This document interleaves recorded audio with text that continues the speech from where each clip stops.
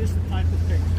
Also, they have a deal with the museums. If they have a big uh, restoration project, they can order small batches of paints. And, uh, so we're very uh, glad to still have this uh, window. This one I think is, is different. The structure doesn't move. forward. Exactly. The top uh, moves. It's only the top that moves into the wind and not the entire structure. Um, the next one behind you, sir, is uh, uh, from uh, 1660 approximately.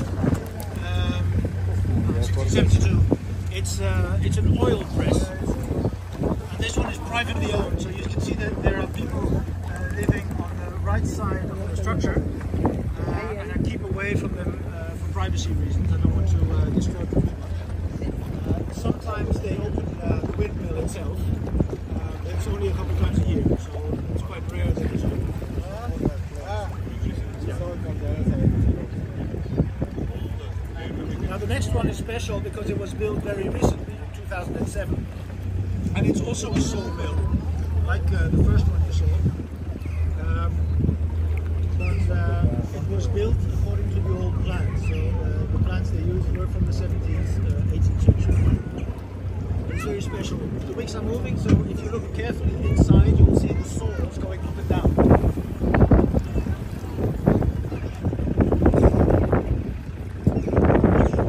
behind the cable. So you see uh, there are saws going up and down. So they use the power of the wind uh, to pull the logs onto uh, this, uh, this um, uh, board, and then it goes inside, and it gets pulled inside the, um, uh, the windmill, and they come out on the other side as uh, planks.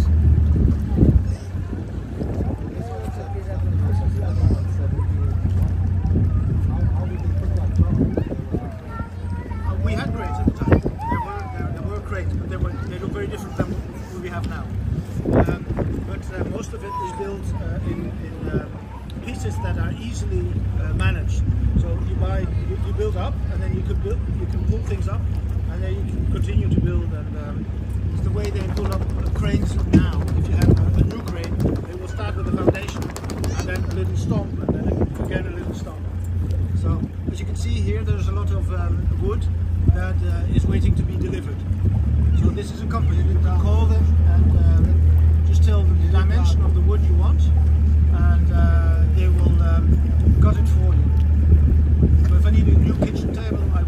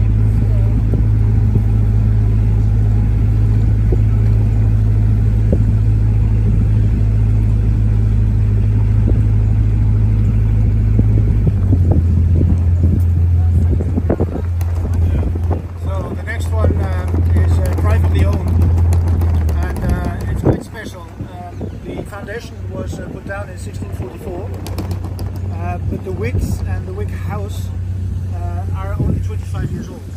Um, but again, it was built according